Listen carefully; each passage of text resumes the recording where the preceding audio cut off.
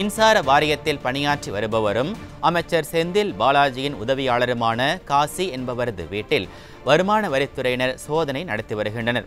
இது பற்றிய கூடுதல் விவரங்களை தருகிறார் நமது தலைமைச் செய்தியாளர் ஜெயக்குமார். வணக்கம் ஜெயக்குமார். விவரங்களை சொல்லுங்க.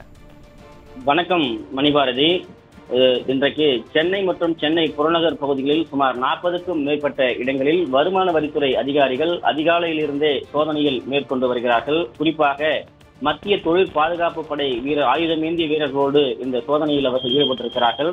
சம்பந்தப்பட்ட சோதனை மேற்கொள்ளக்கூடிய இடங்களுக்கு சென்ற பிறகு தம் மாநில காவல்துறையினுடைய அவர்கள் உதவியை சம்பந்தப்பட்ட காவல் நிலையங்களிலிருந்து இரண்டு அல்லது நான்கு காவலர்கள் உதவிக்கு வேண்டும் என்று தெரிவித்திருக்கிறார்கள். அதனுடைய அடிப்படையில் காவலர்கள் அனுப்பப்பட்டிருக்கிறது. குறிப்பாக மின்சாரத்துறையினுடைய ஒப்பந்ததாரர்களாக இருந்த அதாவது பல்வேறு இடங்களில் ஒப்பந்த பொருட்கள் வழங்கியிருக்கக்கூடிய அந்த ஒப்பந்ததாரர்களுக்கு சொந்தமான இல்லங்கள் மற்றும் அவருடைய நிறுவனங்கள் வீடுகள் ஆகிய இடங்களில் இந்த சோதனை நடத்தப்பட்டு வருகிறது.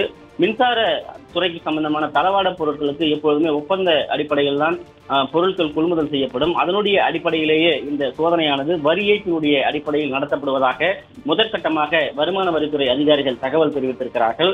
சென்னை ஈக்காடு தாங்கல் பகுதியில் இருக்கக்கூடிய வீரமாமுனிவர் தெருவில் அமைந்திருக்கக்கூடிய ஒரு நிறுவனத்தில் சோதனை மேற்கொண்டு வருகிறார்கள். அதே போன்று சென்னை தியாகராய நகர் பகுதியில் இருக்கக்கூடிய ஆடிட்டர் பண்டாரி என்கிற அவரது இல்லத்திலும் சோதனை மேற்கொள்ளப்பட்டு வருகிறது.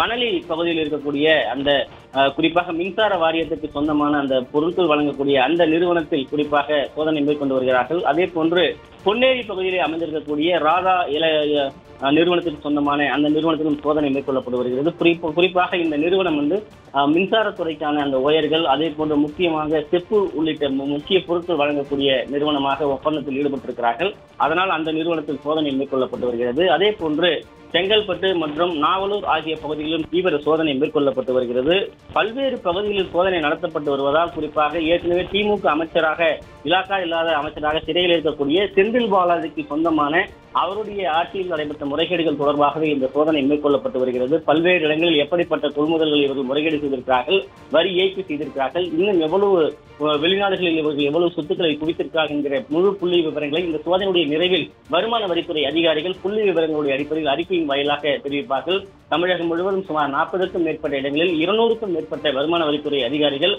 அறுபத்தைந்துக்கும் மேற்பட்ட கார்கள் வாகனங்களில் சென்று இந்த சோதனை நடத்தி வருவது குறிப்பிடத்தக்கது. விவரங்களுக்கு நன்றி ஜெயக்குமார்.